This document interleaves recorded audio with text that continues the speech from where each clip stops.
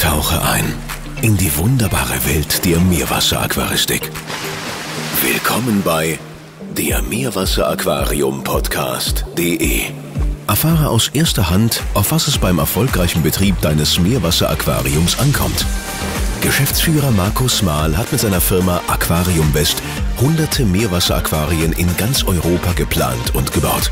Über 2000 professionelle Aquarienwartungen pro Jahr sprechen für sich. Lehn dich zurück und profitiere von Expertenwissen aus erster Hand. Der Meerwasseraquarium Podcast.de Von und mit Markus Mahl.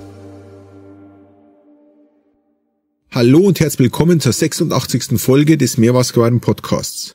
Schön, dass du wieder dabei bist. In der heutigen Folge beschäftigen wir uns mit einer interessanten Möglichkeit, ein Meerwasseraquarium zu filtern, und zwar mit dem Algenrefugium. Wie bei fast allen gängigen Filtermethoden wird auch für das Algenrefugium ein eigenes Technikbecken benötigt. Auf dem Markt sind auch sogenannte Hang-on-Lösungen erhältlich, die ich jedoch aufgrund ihrer sehr geringen Größe nicht für besonders effektiv und deshalb auch nicht für empfehlenswert halte. Das Algenrefugium ist eine Filtermethode, die auf einer ökologischen Basis funktioniert. Meines Erachtens kann ein Algenrefugium jedoch nur seine ganzen Vorteile erst dann richtig ausspielen, wenn es über eine vernünftige Größe verfügt. Schauen wir uns nun als erstes an, wie ein Algenrefugium aufgebaut ist und wie es funktioniert. Hierbei wird das Filterbecken meistens in vier Kammern eingeteilt. Die erste Kammer dient lediglich als Einlaufkammer, sprich in der Kammer läuft das Wasser vom Aquarium ein. Diese Kammer wird in der Regel mit kleinen Brocken Lebengestein oder Biobellen gefüllt. In der zweiten Kammer wird der Filterschlamm und die Algen eingebracht. Dort findet der Schadstoffabbau statt. Idealerweise wird dort eine Schlammschicht von ca. 3 bis 5 cm hoch aufgebaut. Als Algen eignen sich besonders Calerpa taxifolia. Diese werden in den Filterschlamm eingesetzt und beginnen dort nach kürzester Zeit zu wachsen. Durch das Wachstum entziehen die Kalerpas dem durchströmenden Aquarienwasser Nitrat und Phosphat und reichen es durch den bei der Photosynthese entstehenden Sauerstoff an. Einer der bekanntesten Hersteller für Filterschlamm ist die Firma Ecosystems mit ihrem Miracle Matt. Damit die Algen wachsen können, muss das Filterbecken mindestens täglich zwölf Stunden beleuchtet werden. Bei der Beleuchtungsdauer gibt es verschiedene Ansätze.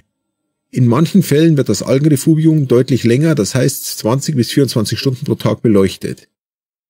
Wenn du eine Beleuchtungsdauer von 12 Stunden wählst, ist es ideal, dass du dein Algenrefugium antizyklisch beleuchtest.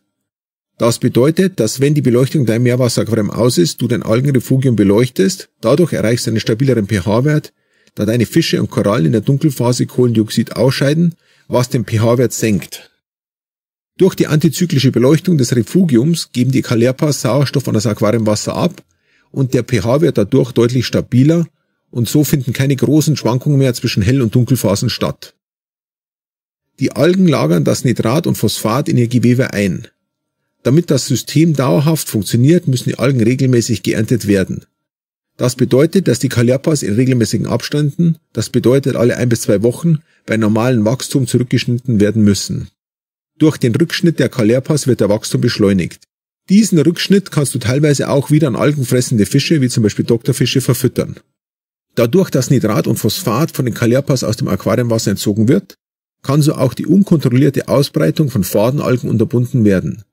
Ein weiterer Vorteil eines solchen Refugiums ist, dass sich dort Kleinstlebewesen, die für einen reibungslosen Ablauf des Meerwasseraquariums mitverantwortlich sind, optimal vermehren können, da sie dort optimale Bedingungen vorfinden und keinen Fraßdruck von Fischen ausgeliefert sind.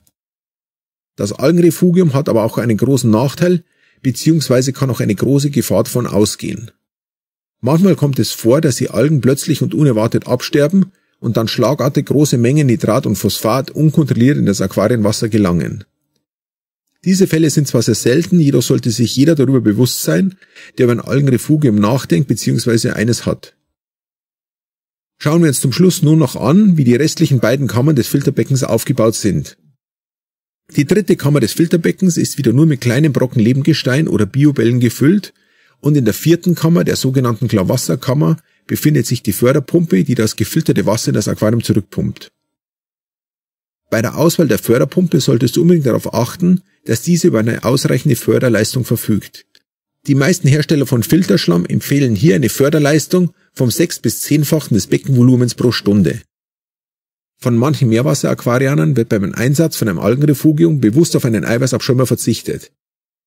Das Argument hierfür ist, dass durch die Kalerpas genügend Sauerstoff in das Aquariumwasser eingebracht wird und deshalb ein Eiweißabschäumer nicht erforderlich ist. Für den Sauerstoffgehalt kann dies eventuell zutreffen. Jedoch entzieht der Eiweißabschäumer auch Stoffe aus dem Aquarienwasser, die für Kalerpas nicht greifbar sind. Deshalb würde ich dir immer zu einer Kombination aus beiden raten. So, das war's wieder für heute. Ich hoffe, du konntest wieder einige wichtige Informationen für dich gewinnen. Wenn du Fragen hast, schreib es mir einfach an info@aquariumwest.de und ich versuche in den kommenden Episoden darauf einzugehen. Zum Schluss möchte ich dir mein neues Buch Meerwasseraquarium ans Herz legen. Es ist über Amazon erhältlich. Wenn du tief in das spannende Thema Meerwasseraquarium einsteigen möchtest, findest du dort alle wichtigen Informationen, die bei der Planung, dem Bau und der Pflege von Meerwasseraquarium benötigst. Neben den gesamten technischen Fragen, wie zum Beispiel was musst du bei der Planung und Montage von Meerwasseraquarien beachten, was gibt es für verschiedene Beleuchtungssysteme, wie funktioniert ein Eiweißabschäumer und vieles mehr, findest du dort zahlreiche Beschreibungen von Fisch- und Korallenarten, die für Aquarieneinsteiger und Fortgeschrittene geeignet sind. Den entsprechenden Link zu Amazon findest du auch in der Podcast-Beschreibung. Nun wünsche ich dir viel Spaß mit dem Meerwasseraquarium, dein Markus Maul. Das war's für heute beim Meerwasseraquarium Podcast.de. Wenn es dir gefallen hat, hinterlasse uns doch gleich eine positive Rezension bei iTunes. Und vergesse nicht, unsere Show gleich zu abonnieren. Dadurch können noch weitere Meerwasseraquarianer von diesem Podcast profitieren. Wir freuen uns auch über Fragen oder Themenwünsche.